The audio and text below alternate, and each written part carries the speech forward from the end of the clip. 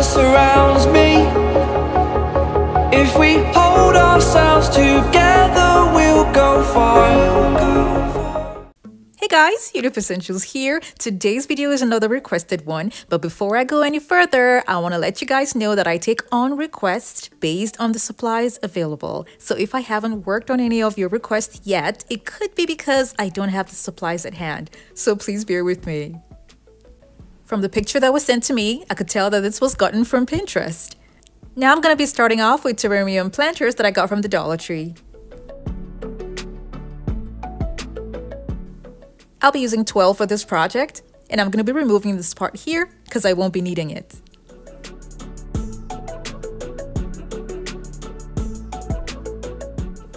I'll be adding some fainted lines on the inside.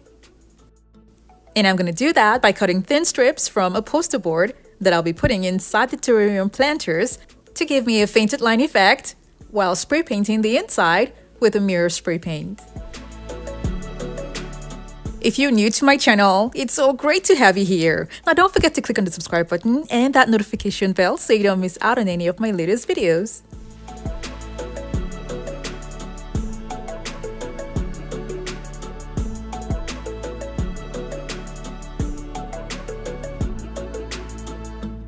Now I'm going to be putting the strips inside and holding them down with tape.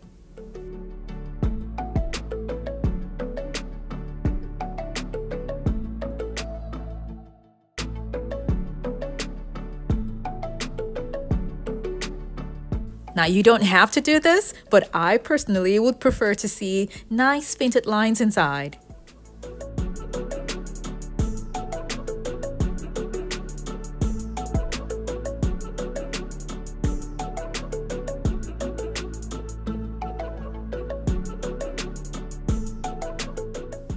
This is the shape that I want to see inside when I'm done with the spray painting, and I'll be using a mirror spray paint.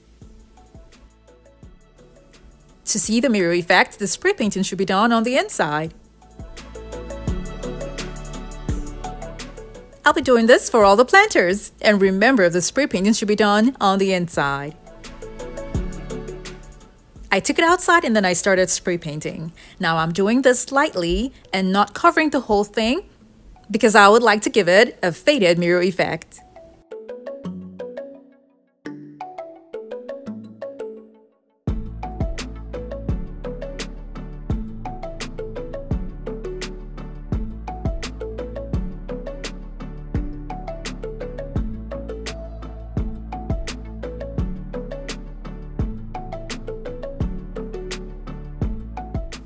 After 30 minutes, I took off the papers inside.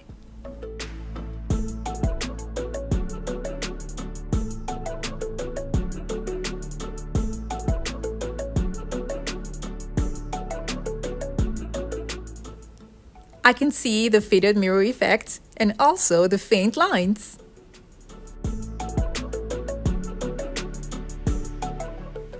This is the table that I'm going to be using and it's a foldable table and I've had this for a while now, but I've used it just once.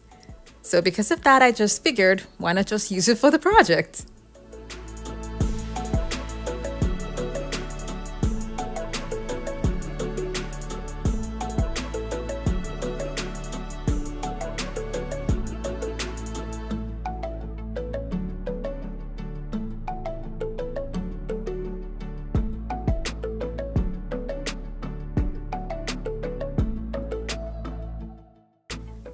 It is perfect for outdoors. And I had to go back to Walmart to figure out where I can find the same table and take a picture to show you guys what it's used for. You can also increase the height of the table.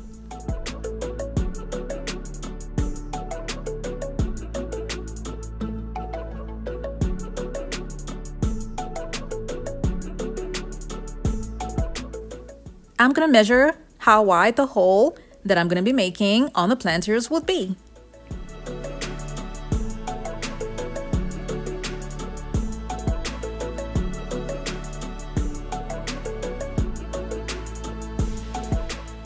Now because the plastic is hard, I'm going to be making all the holes on all the planters with a soldering iron.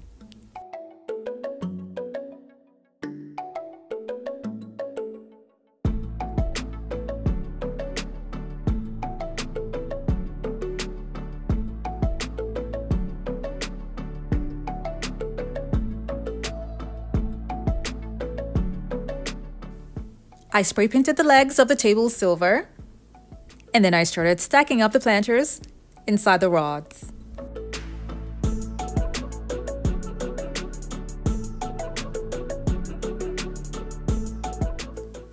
As this came down here, it wasn't holding well, so I had to use tape around the lower part to make sure that the ball fits in a snug way.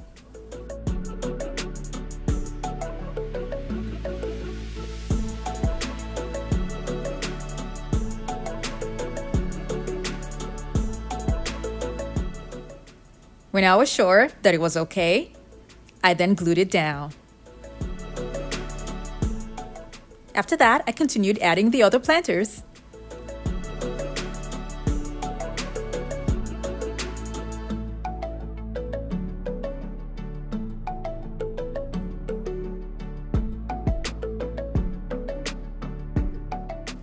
As I was about to add the third one to glue it on, I realized that this is too short. So I had to bring it up just a little and just enough to make sure that the legs are going to be outside because I want the weight of the table to be on the legs and not on the planters.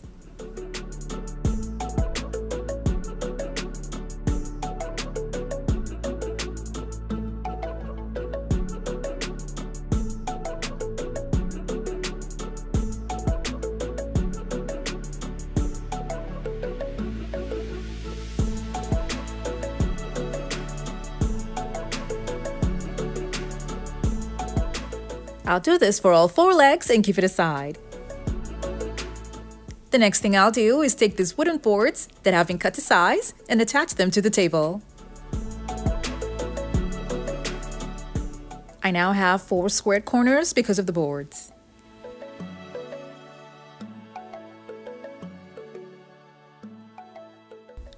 I got this hot pink contact paper online and I will leave a link for it down in the description box below.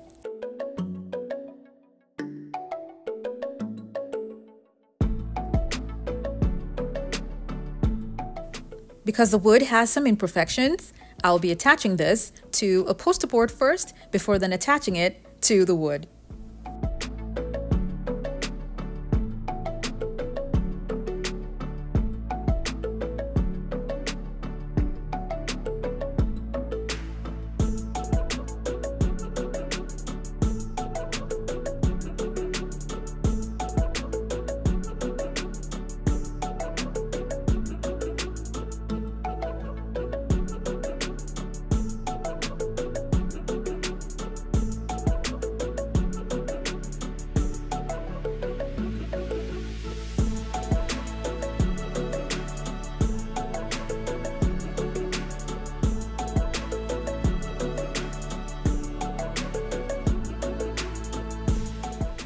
I forgot to mention that I removed this part here to keep the side of the table flushed.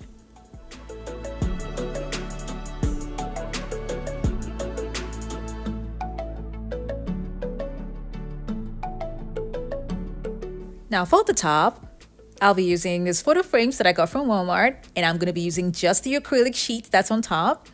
I took it out and then I cut them to size and placed them on top of the table.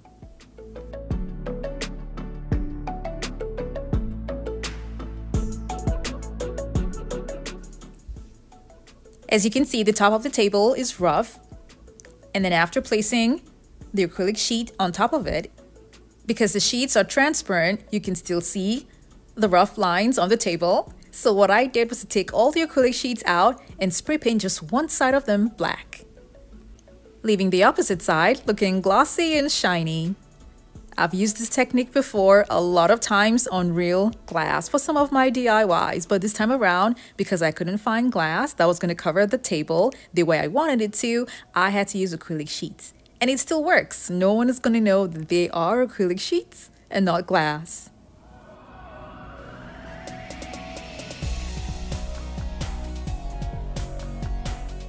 This type of table is perfect for those open and bare spaces that you may have in your home or some corners that need some little decor. You can place it there and have beautiful decor items placed on top. There are one or two things that I'd like to add. So in place of the terrarium planters, you can use large Christmas ornament balls. And in place of the contact paper, you can just use hot pink glossy spray paint on the planks. If you're going to use an old buffet table like I did, you can increase the height. I love pink, but this table just made me fall in love with it all over again. I do hope you all enjoyed this video. Now don't forget to like it and share it with your friends and families as well. Thank you guys so much for watching. Now I have other home decor DIY videos that are linked in the description box below to check them out and don't forget to click on the subscribe button.